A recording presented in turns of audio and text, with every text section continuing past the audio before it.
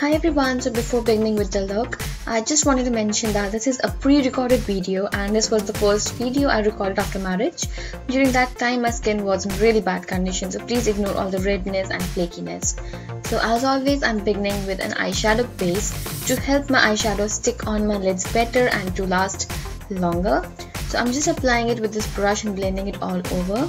Next using my Revealed 2 palette and using this lighter shade I'm just dusting it all over my lids to have a really even and smooth base for the other eyeshadows that I would be applying and this not only helps absorb extra oil it also helps in blending the eyeshadows a lot better. You can even use a translucent powder Next I'm using this light brown color and this is going to be my crease color using a flat shaded brush. And this is a really really cheap brush I got from Chinese website. And I'm just applying it into my crease as well as on the inner corners. For this specific look I want to have a really rounded appearance to my eyes and I want my eyes to look a little more uh, deep set. If you have really smaller eyes I would suggest you to use a lighter shade in the inner corner.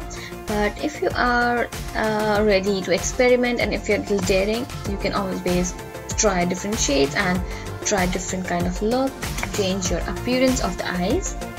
So just blend it really really nicely and then using a small blending brush I think that is or smudger brush using that brown eyeshadow I would be applying it just in my crease really precisely and applying it same in the inner corner and just connecting both the corners of my eyes. And you can see it already made my eye appear a bit more rounder.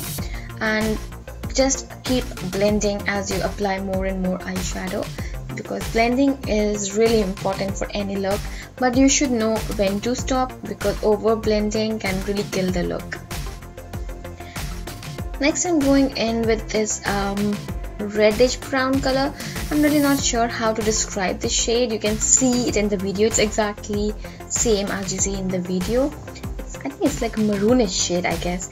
And I'm applying with this big brush in my crease and just blending it in. I have been loving this particular shade in my crease a lot lately. I think I applied a little bit of this shade on my wedding day as well. I guess my previous video uh, in my previous video I used this very exact same shade. Um, I'm really obsessed with this shade. I'll try not to use it in my future videos and I'll try to do something new. But as I said it's a pre-recorded video and I hope you guys enjoy. Next I'm mixing these two light shades. One is a matte shade one is a shimmery shade. I'm just mixing them both and applying it um, under my eyebrows on my brow bone and I'm blending it with my crease color. I blended a lot for this look. After every eyeshadow application, I have blended, but I have cut short the video for you guys. Next, I'm applying this pinkish eyeshadow and I would be applying it with an eyeshadow brush and just patting it on my lids like at the center of my lids where I don't have any eyeshadow and just slightly blending it so that it blends with the crease color. Don't overblend because you want that color to be visible because that will highlight your eyes and will make your eyes pop. And again I'm going in with the same darker brown eyeshadow in my crease reapplying it blending it reapplied and then again I blended it. I repeated it a couple of times till I got the desired intensity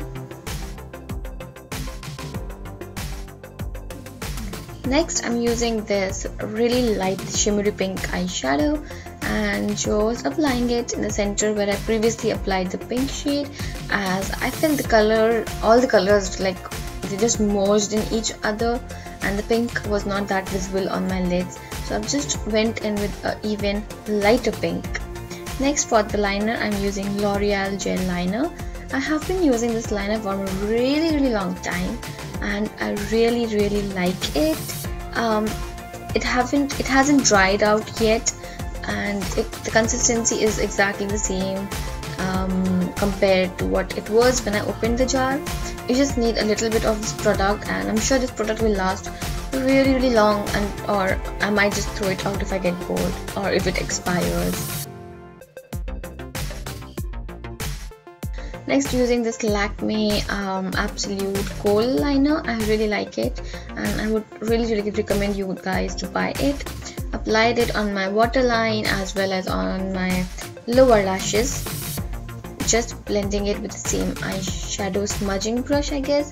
This brush is from Vega and there is no name written on it. And I'm really sorry I'm doing a voiceover after a really long time. I'm not sure how this video would turn out to be but please please please um, bear with me okay so while I was talking I applied that uh, maroonish shade with this pencil brush by Sigma on my lower lash line and your eyes are pretty much done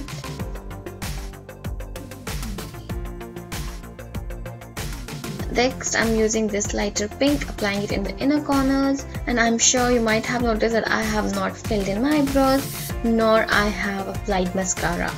Because I have a reason for that. First, I'll do my face makeup. It was a pretty new foundation when I recorded this video and I haven't used it a lot. I just realized that. It is a very light to medium coverage foundation by Body Shop and as I said my skin was really dry and it was in very very bad condition. I just applied a little bit of that foundation and I just blended it all over to have a even skin tone. You can see I have lot lots and lots of spots on my cheek I have no idea why I was breaking out like crazy. Like after honeymoon my skin got really bad. Now it's kind of okay but um, it's still not back to its original state. I hope it goes back.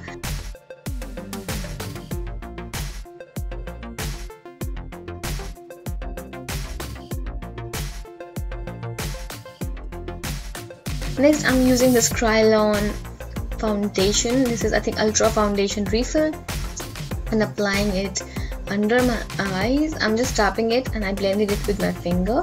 Then I use this Catrice uh, I think that's how you call it lip liner.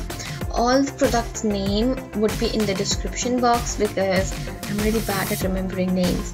Next using this gorgeous Colorbar lipstick. It's like a MLBB my lips but better lipstick. The name would be in the description. Do check that out.